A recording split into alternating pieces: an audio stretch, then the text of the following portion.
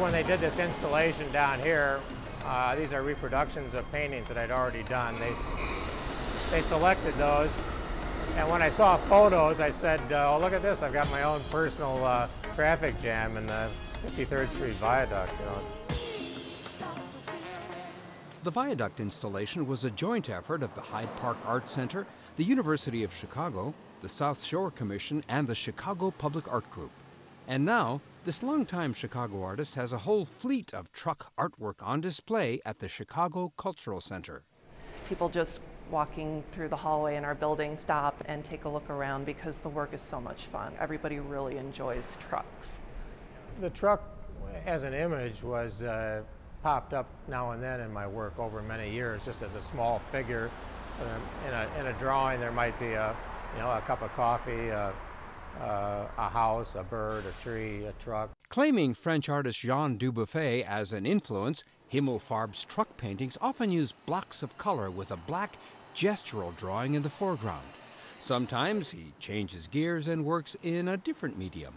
He has such a broad range of media, um, from drawing and printmaking to painting to sculpture. There are so many different fresh takes on a central subject matter. Himmelfarb varies the scale of his creations too. I did a, a uh, large piece using a real truck, a real pickup truck, and items I found at salvage yards. So it's a life-size piece. Looks very much like one of the trucks coming down the alley near my studio. I'm just composing the same way I would in a painting, moving the shapes and colors around until I get a composition that's exciting to me. And sometimes he works small, using a stack of old library cards he repurposes as drawing paper.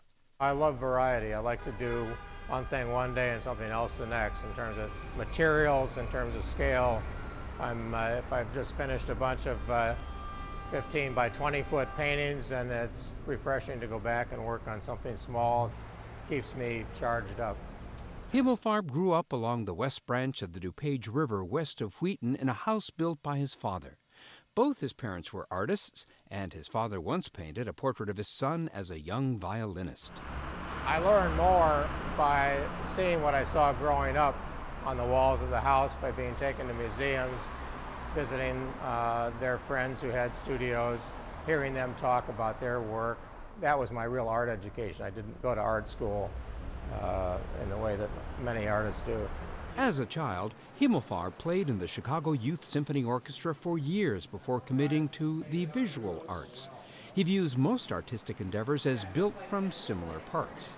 All the arts are using language in the same way. That you might change the terminology a little bit, but visual language, you're talking about line and color and balance and harmony and uh, shape, uh, etc. Well, all those things are, are what you need to create a novel or a symphony uh, as well.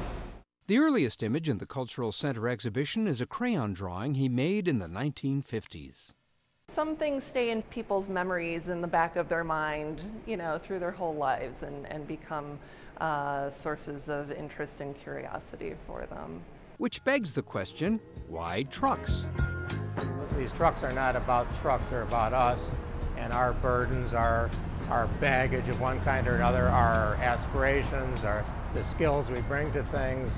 Uh, so there's not a, a strict interpretation, you know, people can come to these and, and relate to them in their own personal way, and they're, they're going to be right.